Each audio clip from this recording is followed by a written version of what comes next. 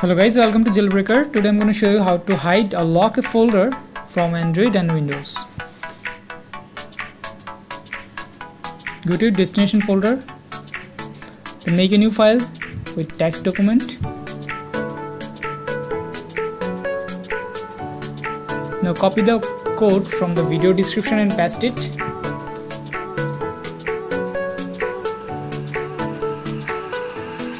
See the line? That the word password is your own password. Remove it and use your own. I am using jailbreaker.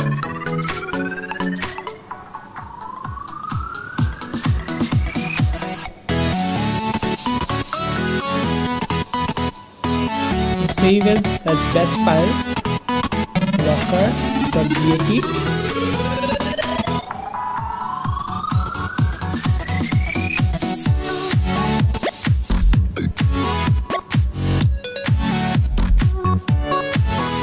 Now double click on the batch file. A new folder locker will be appeared. Then move the files you wanna hide to the locker folder. Then again double click on the locker. See, it is disappeared and locked. To unlock it, use your password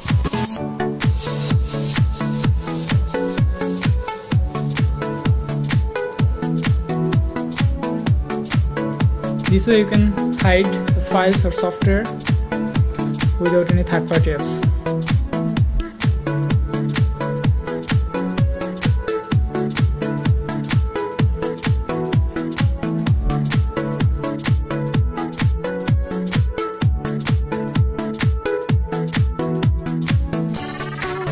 Go to File Manager, rename the file putting a dot before the name see it is disappeared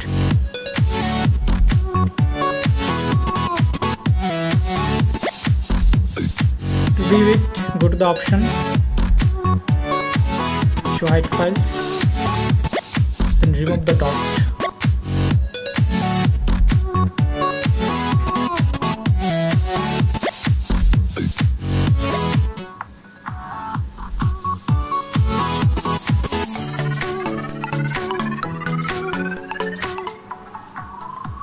If you want to lock a folder or files, go to ES File Explorer, then your destination file or folder.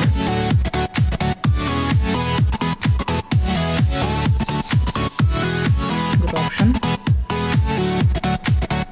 Then encrypt it with your own password.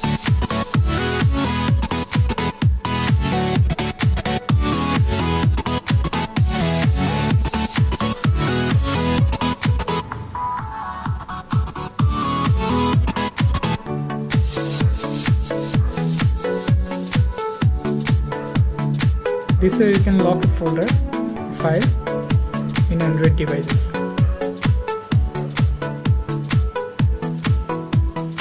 Thank you for watching my videos. Please don't forget to subscribe.